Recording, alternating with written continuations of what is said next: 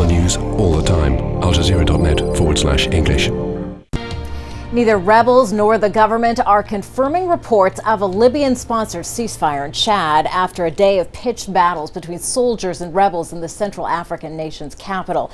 Witnesses say government troops have been trying to fend off rebel attacks on the presidential palace.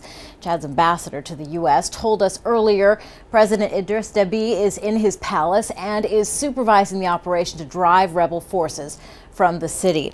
Well, some 2,000 rebel fighters left their base near Sudan's border on Monday and began pushing towards Chad's ca capital city of N'Djamena.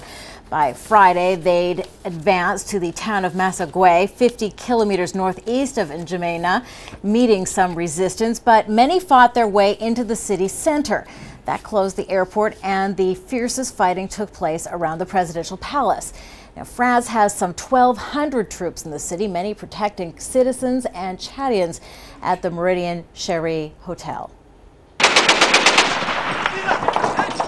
Now, these are exclusive pictures from inside the city. A French military spokesman says government troops are driving the rebels away from the city after containing them at the presidential palace. The African Union has asked the Libyan and Republic of Congo presidents to mediate in the conflict. The AU leader says the rebels won't gain international recognition.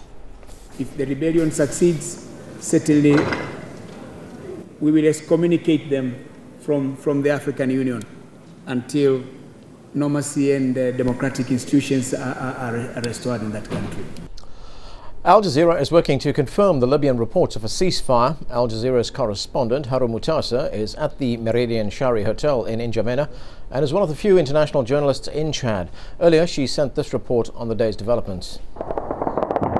Hotels for now are a place of refuge for those stranded.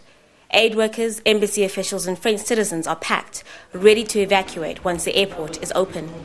One of them shows me a bullet that he picked up outside the hotel. We told the rebel forces are still advancing, trying to get to the presidential palace, and the Chadian forces are trying to hold them back. As for the civilians, a lot, a lot of them are concerned about what their safety will be. There's a, a small group here um, who are here trying to, to look for safety, but most are still in their homes. They can't leave, they're scared. In the back of the hotel, the kitchen, tired and terrified Chadians hide, mainly women and children.